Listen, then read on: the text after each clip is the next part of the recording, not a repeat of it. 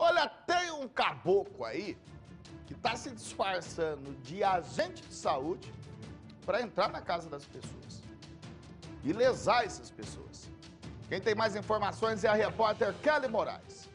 Bom, nós estamos aqui na Secretaria de Saúde, ao meu lado a Janete, porque uma situação tem chamado a atenção e preocupado aqui a nossa região. Um agente disfarçado tem entrado na casa de moradores, né, Janete? Sim, isso é, é geralmente bastante recorrente e a nossa preocupação enquanto vigilância estar orientando as pessoas ao fato, né, de saber realmente identificar o agente verdadeiro. Que a gente sabe que as pessoas de má fé querem adentrar aos imóveis, né, para furtar alguma coisa. E ontem nós tivemos uma denúncia de uma moradora do Leia Leal que um agente da dengue, ela, ela estava muito desconfiada porque não tinha material adequado, não tinha crachá identificação, estava somente com uma plancheta e a gente foi verificar onde estava a nossa equipe daquela localidade, estava fazendo um bloqueio no Jardim Alvorada e nós não estávamos com nenhum contingente humano lá no Leia Leal. Então as pessoas têm que se alertar, têm que se, né, mediante qualquer suspeita, inclusive fazer um BO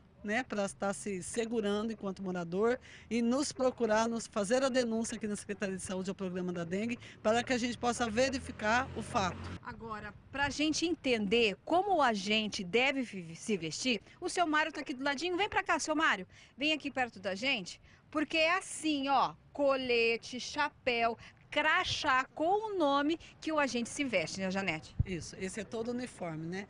Todo agente ele vai entrar na casa uniformizado sempre. E ele também ele tem que se identificar como morador, porque a maioria dos agentes, como a gente tem as equipes é, fora bloqueio que a gente faz quando a gente está terminando o ciclo, geralmente trabalha sempre nas mesmas localidades, nos bairros. Então eles são muito conhecidos.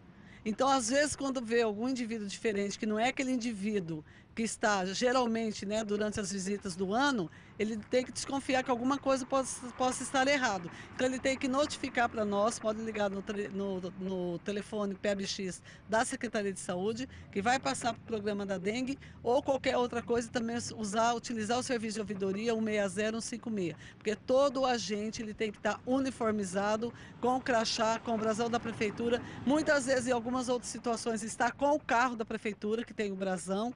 Então, então, as pessoas que não se identificarem, que não estar trajando o uniforme adequado, realmente não pode deixar entrar dentro da casa. Agora, seu Mário, esse tipo de situação que acontece acaba atrapalhando o serviço do agente de saúde também, né?